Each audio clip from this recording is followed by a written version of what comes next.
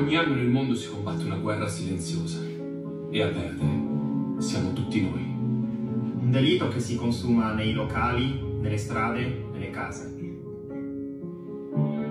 La carbonara fatta a cazzo di cane. A cazzo di cane. A cazzo di cane. Non si usa la panna.